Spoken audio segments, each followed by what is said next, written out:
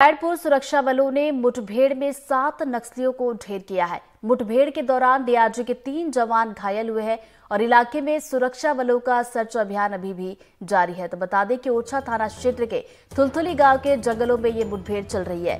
तो देखिए, बीते कुछ समय से हम देख रहे हैं कि लगातार सुरक्षा बल के जो जवान हैं, वो नक्सलियों के खिलाफ ऑपरेशन चला रहे हैं और उसमें सफलता भी मिल रही है।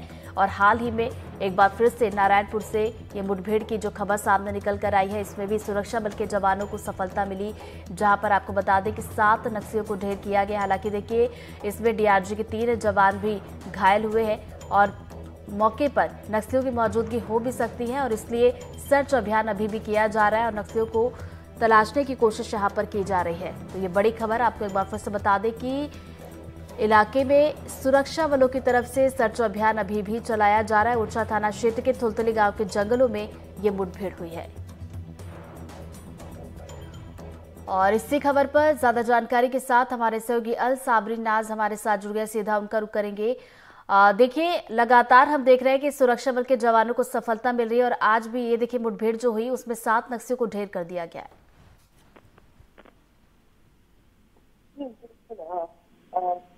शाम के नक्सली नक्सलियों की सूचना मिलने पर चार जिलों की टीमों की जो है के द्वारा संयुक्त ऑपरेशन लॉन्च किया गया था।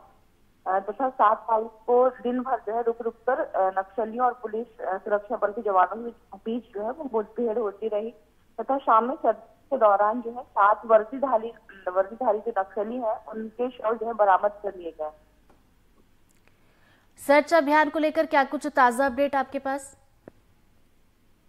जी सर्चिंग अभियान जो है वो जारी है। साथ ही जो तीन जवान घायल हैं उन्हें एयर लिफ्ट के माध्यम से जिला मुख्यालय नारायणपुर उपचार के लिए लाया गया है। चलिए बहुत बहुत शुक्रिया आपका तमाम जानकारी के लिए।